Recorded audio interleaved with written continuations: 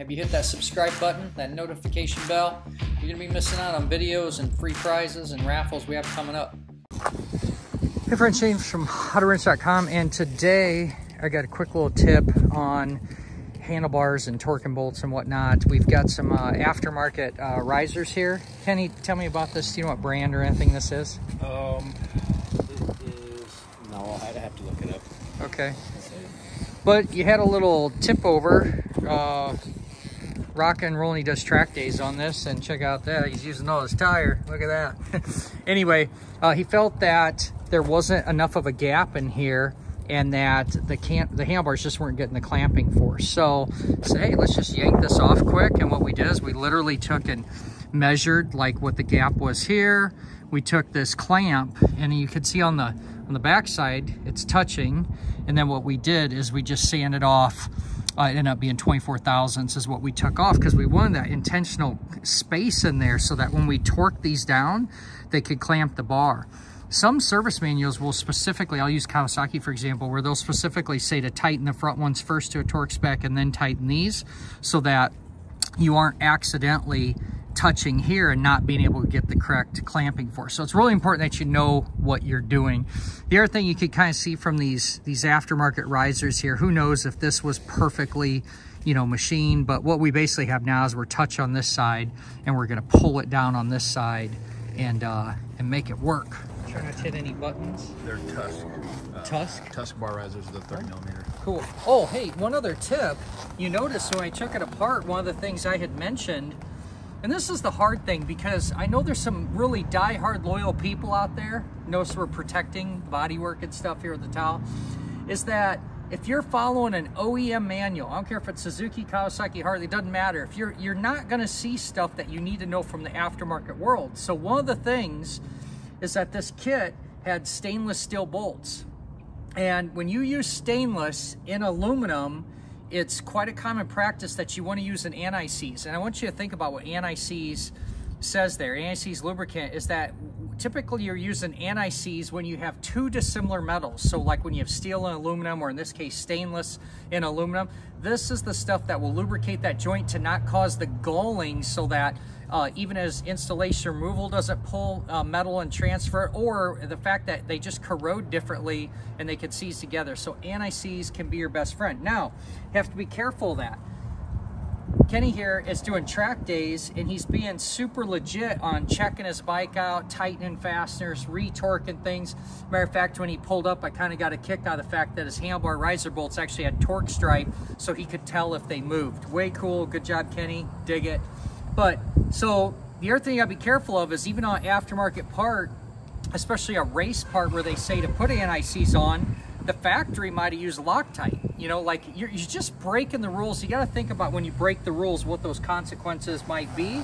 And the biggest consequence usually is that there's more maintenance. Okay. All right. So your uh, factory spec you said was 16.5. 16.5. Many of you see me using the eTork brand torque wrenches here. Still in love with these things. I never like to go to full torque, so I just went low. I'm gonna put the lock on. I'm still loving the, the feel of these. And I'm a big fan of back and forth, back and forth. Okay. Okay, remember, those are the ones we want to seat. Now we're gonna roll around and create the uh, clamping force. Check uh, with the cameras, there's still a gap. We're kind of experimenting on did we remove enough. Yep. Happy? Yep. That's good. Okay, that was only, so I've got it in another video and, and I've talked about the torque wrenches. I could have grabbed a torque wrench that was, you know, like 10 to 75 pounds, but I really want to get one that is in the more the middle of the range. So I grab the inch pound one, I have to convert it. So you got to take the 16.5 times 12, which was 198. And then get this cranked up. There's one I'll do the finish here, let you dial in. I just think these are so cool. I've been happy capture on film. So we're one, we're rolling up on 190, okay, right at that zero. And we said we need 198, simple enough. And even has the half steps. So one, two, three, four, five, six, seven, eight. Lock it, torque it. Have you used these yet? I have not. Let's trade. I'm gonna. I want you to get a feel for it, because you've got a what brand torque wrench? Harbor Freight. Harbor Freight. All right, I want you to see how this feels for Are you. So we're torquing all four still? Yep, We're starting on the top? yep. I do the top two first. Probably not gonna move now, and you always want to hold your hand right in the middle. That's actually uh, where you want to be. Okay. And put your palm here. If you don't mind I'm me always- giving you some No, tips. please do. Yeah, I'm, So- al- I'm always uh, fearful of altering the torque by manipulating something wrong. Yep. So what you want to do is what I call palming, and that Okay. keeps the fastener where it needs to be. Gotcha. And all torque wrenches, every brand, you have to actually grab the handle. Okay. So go ahead and pull. I like how smooth and even you're going. You can always re-ratchet if you're uncomfortable. Yeah, that was nice. How'd that feel? Good click.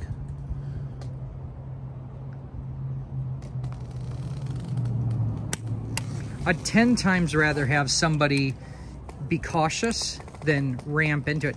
Now, from how you've used the torque wrench before, what do you think about that palming technique? Do you feel more confident? Uh, yeah, I suppose so. Because it doesn't want to slip out on you. Right. You know what I mean?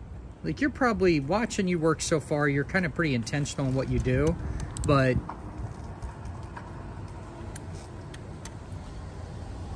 We're definitely gonna get more clamping force just based on the fact that this side's walking a lot. You know, it's going. We're, we're going beyond my marks. well, I'm gonna tell you what, we uh, we probably wouldn't have wanted to go any less because that gap is it's there though, and that's what we want. Yeah. So we want that gap, and that's all we need. We don't want a mile. Right. We don't need it, but anyway, my friends, eTork torque wrenches, DRZs, super modified and kicking ass. Let's get this ugly towel off there and make it look cool. But this is a cool bike. You know, while we got you here, uh, I know you've been doing track days here in Phoenix, but what are some accessories? Obviously tires. Ooh, uh, yeah. You got a lot of stuff. Definitely different tires. Diff- uh, these pegs are a little higher. I can't recall the brand. I'm terrible at remembering brands, but No worries. peg sliders. Um, obviously the bar risers, uh, the rubber killers. That's a big deal. The rubber killers. So that just gives you more connection to the steering. Yep. Um, and then definitely the stainless steel brake lines. Huge change in the brakes. You got sliders. Yep. Uh, that's actually OEM, but yep, those those are. Is that one loose? Uh, it's just a terrible design. It's, it's basically rubber fitted in Gotcha. there, and that squishes it down. Well, that back one sure held up.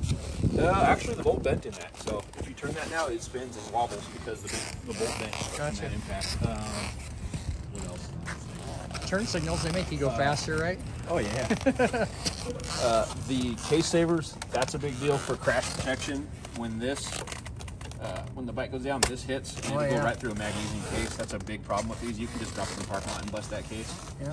So you just I'm gonna tell a funny story. So I'm new to Phoenix, and I'm looking for friends and kind of you know trying to meet people hard in 2020. What a nightmare! I never thought it'd be so hard to meet people.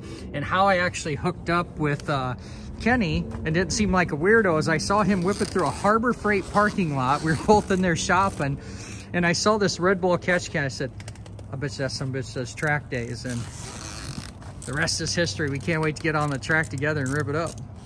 definitely. Awesome. Well, cool bike. Um, appreciate you uh, letting me grab that on film and just the importance of modifications and thinking about what you're doing and all that other good stuff. So anyway, as always, make sure and like, share, subscribe, all that good stuff. Make it a great day. And as always, keep wrenching.